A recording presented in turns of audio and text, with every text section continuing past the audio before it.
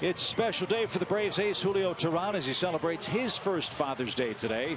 Julio spent some time earlier with our own Kelsey Wingert to talk about his son Jordan and reflect on what it means to be a first-time father. Well, it means it means a lot. I mean, it's been a has been a different different year for me. Um, now I feel how my uh, how my dad feels every uh, Father's Day, and uh, I'm kind of happy to be a to be a daddy this year. And what's your son's name? And just tell me a little bit uh, about him.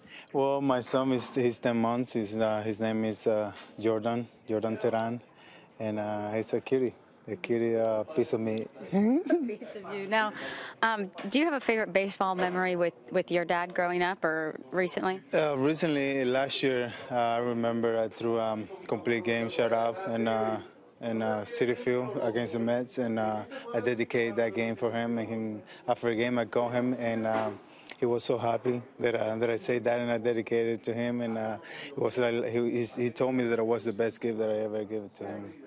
And a lot of people don't know, but you're a prankster. You're pretty funny. So if people are paying attention, they can see before every game when the Braves tweet out the guys taking the field, you've come up with something unique to do in the background. What what prompted that? What started that for you? Well, just uh, trying to do something different, something fun for the guys. I know every, it's hard to be here every day and trying to uh, win a game. Uh, but uh, for me, that, I, that I'm in there uh, every five days, I mean, the other four days, what I, what I, what I have to do.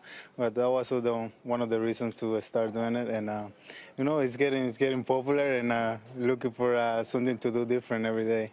Yesterday you did a roll call. Was everybody on time and, and in their spot on time? Yeah, they were. They were in uh, the exactly spot and the, the, they were in the perfect time, so we were uh, we were good to win the game.